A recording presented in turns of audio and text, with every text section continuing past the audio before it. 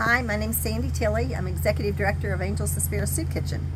Our soup kitchen opened in 2008 and we have served probably over 200,000 meals in the time that we've been, um, you know, working. We are open Monday through Friday without fail. If a holiday falls during the week, we're there. We serve lunch from 11 to 1 and anyone is welcome who needs our help. There's no criteria to be met. There's no questionnaire, there's no application, there's no credit check. Just come on down and enjoy what we have to offer. Another thing that we do is our summer bag lunch program. We feed approximately, this year was 17,000 bag lunches. And those go to children who normally get um, free lunch or subsidized lunch at school. But when school's out, they don't get the proper nutrition. So that's where we come in. And it's been an extremely valuable uh, program for Angels and sparrows. We're almost all volunteer and we use 10 volunteers a day. We have about 200 on our uh, roster and we, we just, we have the best volunteers in the world. We have enjoyed um, having this ministry because it allows us to do hands-on, to sit down and talk with people. Maybe we can help them in some other way or guide them to a resource that they, you know, can use like Ada Jenkins or the Free Clinic or, you know, there's several available in this area. Everybody doesn't have what they need all the time in spite of the general population believing that this area is very affluent. It is in some areas, but it's also not in others, and that's that's our job is to to fill in those gaps. So thank you for um, coming to Angels and Sparrows, and thank you for everything you do for us.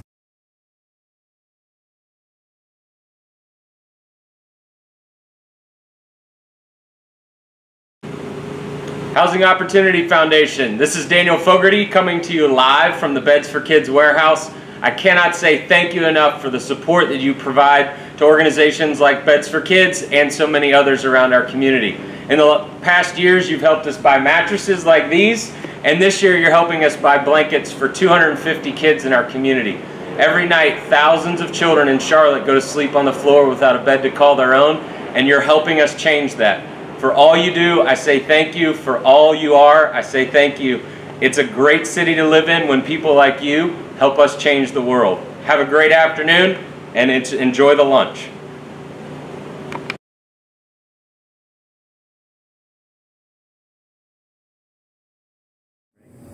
Welcome to Charlotte Rescue Mission. Everything we do is about transformation. We work from the inside out to address the root causes of somebody's addiction, to return them as contributing members to society, gainfully employed with a place of their own to live. The room you're in is part of our 98-year-old facility, um, and it's seen better days as you can tell, and we're just grateful to you for helping us deal with plumbing problems. As you can see, the showers behind me are used by almost 80 men in our program, and they have seen better days. So we just want to say thank you for making our facility better for them so they have dignity and respect. And when they get that, then they truly feel like they have value and they become part of society. So thank you so much.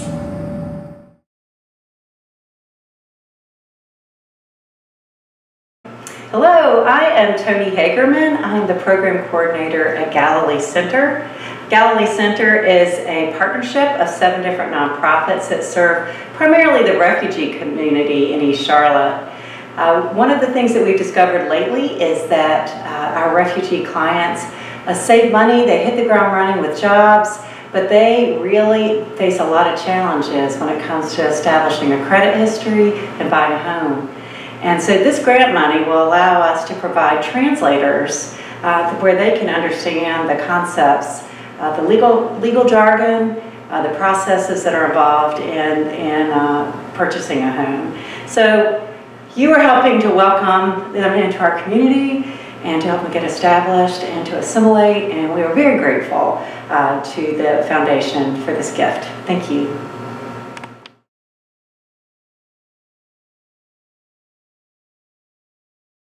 I'm Alice Harrison. I'm the CEO of Hope Haven. We are excited to be talking with you today about the Housing Opportunities Foundation grant. Hope Haven is a residential aftercare facility for recovering alcoholic and other drug addicted singles and families. We are asking for $3,000 to help us begin to put together a play therapy program for our children that are ages one day to five years old. Uh, this will help them uh, in a preventative way to learn more about what's going going on in their lives or has gone on in their lives. If they're four or five, they've probably had a lot of experiences that they haven't been able to talk about. And this is the way through play that they will do that. It also will help us to be able to do assessments by a licensed therapist to see what their needs are, which is a very specialized area in family and children's therapy. So this will certainly help us to begin going down a new road that will provide even better services to the children of Hope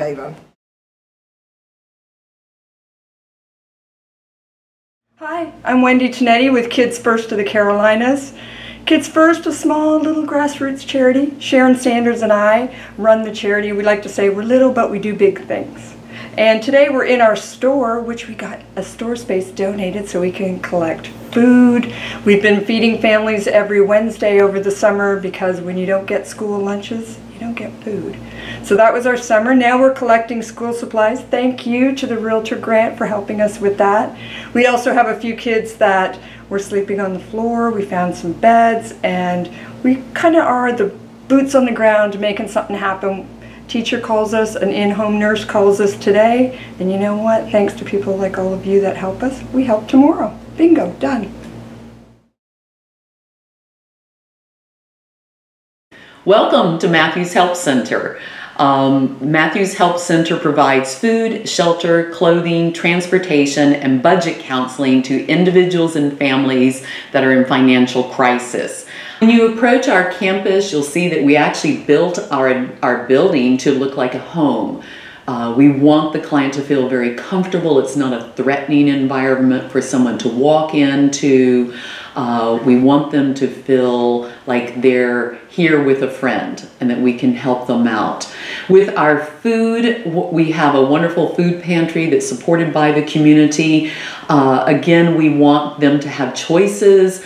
So we prepare a whole week's worth of food plus laundry detergent, toothpaste, uh, personal hygiene products, things like that for them to have. We do budget counseling. We really believe if you teach a man to fish, he won't go hungry. Uh, the grant that we're receiving, we are so excited about, and we're going to be using it to help with housing with our clients. So it could cover the cost of a rent, uh, mortgage, their water, their electricity, their gas bill could be used for transitional housing. Sometimes people come to us and they're not even in a home. They may be living in their cars or on the street, and we can get them into housing while they're working to get into a permanent house. Hi, I'm Pam Jeffson. I'm Executive Director of Supportive Housing Communities. And we are so thankful to the Housing Opportunity Foundation for our grant.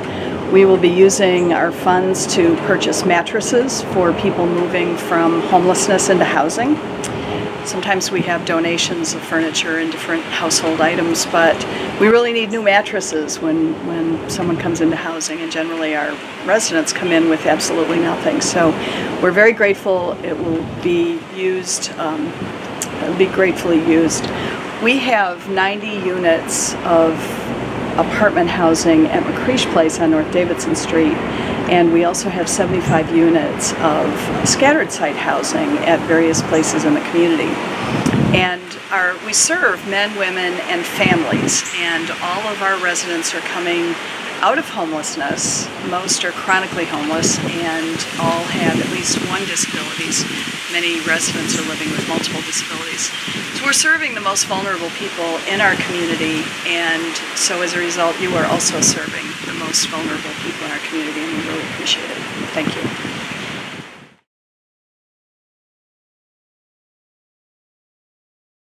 Running Works is important to me because uh, it's another support of a family. Uh, it helped me get back and forth where I need to go with bus passes. Uh, it really helps out my family a, a lot. Uh, my girlfriend, my baby on the way. So um, yeah, that's why running works is important to me. They help me in every aspect of my life. So. And work been, uh, been important to me with bus passes to get me back and forth to doctors, housing, coming to running works, meeting family and new people, and the things that's important in my life. Certain people donating bus passes to us, it is very beneficial because now me as a person, I can get on the bus and go meet my family, which I have very rarely did that. But it's just beneficial and I just like what these people do.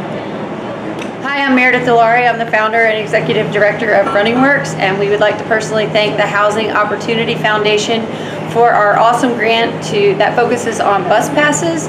Our transportation fund helps our neighbors, our homeless neighbors, our men and women get to job opportunities, to meet family, to reconnect with family, to try and get housing, to go to appointments for current housing. Um, it also helps them get to the program, to get to races. We have multiple programs all week long, some twice a day. We have family dinners. This uh, grant that you guys have awarded us will help us with many different things, and we are really excited to use the funds allocated to us. Thank you so much. You find out a lot about yourself when you come here.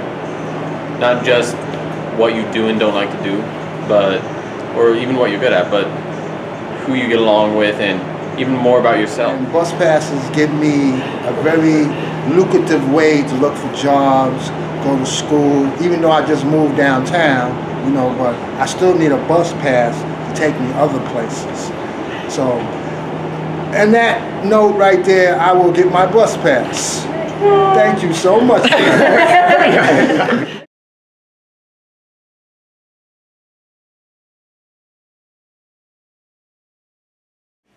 Hey, how you doing? My name is Shaq. I'm the Director of Youth Service here at Time Out Youth. I run two major programs here in space. One is the Host Home program for young people that are experiencing unstable housing between the ages of 18 to 23. That housing program is a 90-day housing program. In that, in that program, we provide case management services, financial stability, and making sure that young people secure and, and find safe and stable housing in addition to employment. Had just been, you know, took a toll upon me um, I actually couldn't really afford to, you know, to attend school, so I had to withdraw from the university. Then I went back to New York to um, help out with my family. And after that fact, um, me staying with them, um, they didn't accept me from who I was. So I came back to Charlotte. And then I experienced um, actually truly living on my own, like packing just one back a suitcase, you know, just completely leaving where I used to know and where I used to stay in just all my years of living to come down to like, you know, experience a new life. Um, that I knew that I had to like, you know, find some type of stability. So my thoughts was just, you know, going to a shelter, the men's shelter. Um, when I left the shelter is when I actually um, visited Time Out Youth. And again, the Time Out Youth, I never truly even knew an organization that would help you so much in progress of like, you know, just, you know, bus passes, having access to like food, things in that nature. I never truly think, you know, an organization would provide that. And it was just so welcoming too as well. Um, with that being said, I was living with um, a provider for three to four months, and I was um, working at my current job, which is T-Mobile now, um, saving money. And after the four months, usually with the program, you leave and exit the program to find um, stability, which I have done. So now I'm staying um, in the university area. I do have a really nice apartment that I'm living with, um, staying at now. I just want to say thank you from the bottom of my heart because your funds has helped um, young people that are experiencing unstable housing secure employment and also safe and stable housing. Thank you so much.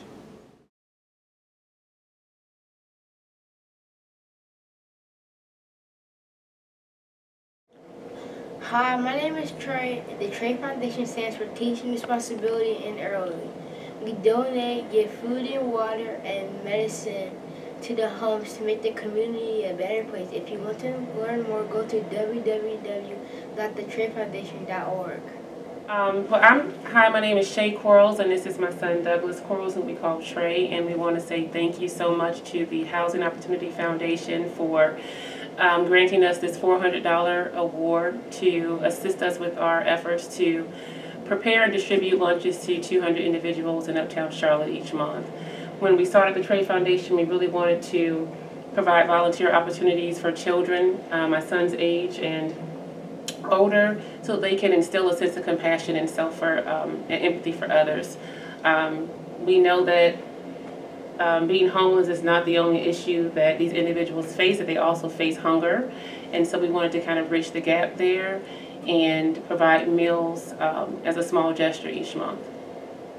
What we give the homeless people are sandwiches with a cookie on top of them, um, thank you letters, and water, water, mm, and fruit snacks, and other stuff that they need. And even if it is winter or snow, we still do it every month. Mm-hmm. Even if it's cold outside, right? Because they're cold. That's all.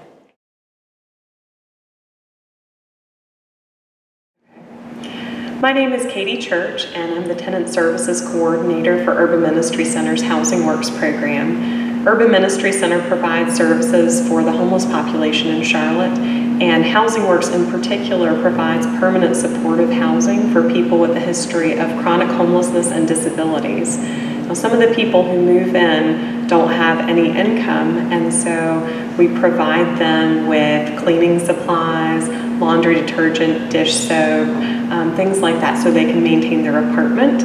Um, and so the grant funding is going to go toward cleaning supplies for folks who don't have any income. And everyone who lives here is so proud of their apartment, and they really take um, great pride in being able to maintain their apartment and have over family members and staff members to come and visit with them.